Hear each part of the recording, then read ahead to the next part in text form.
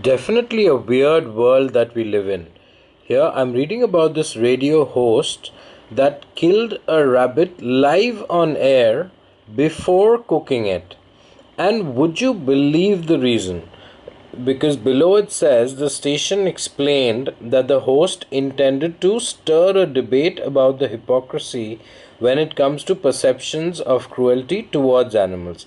Now, how on earth do the actions of this radio host actually prove anything any debate on any stand you know taking any stand about the hypocrisy of as far as uh, cruelty towards animals is concerned.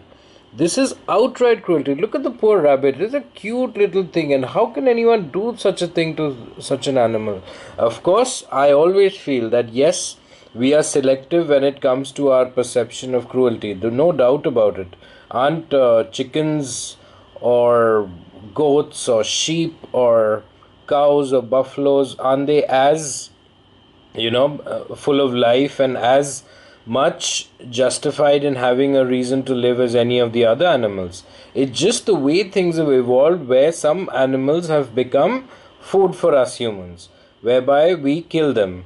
And uh, that does not justify the fact that we do it. It just it's the fact that we do it. Now good or bad you know that's something debatable.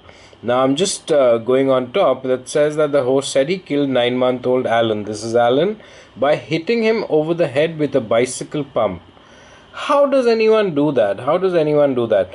See the way i see it i see it even when it comes to uh, animals that we eat. There's certain people who do it. You know there's there are butchers in the profession who do it now you ask me to kill even a chicken. I will not be able to do it. I know for a fact that i will not be able to do it.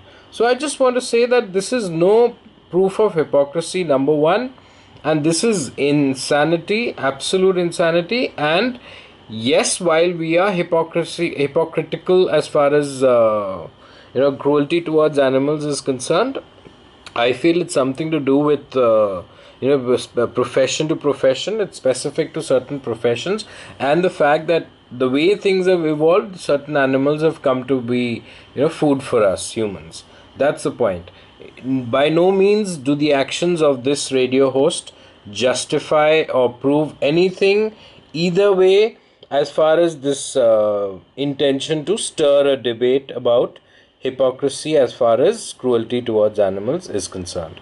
That's my point.